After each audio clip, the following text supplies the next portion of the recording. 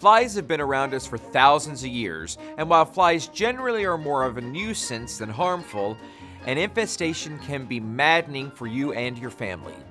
The good news is that getting rid of them from your yard is safe and easy, and I'm going to show you how.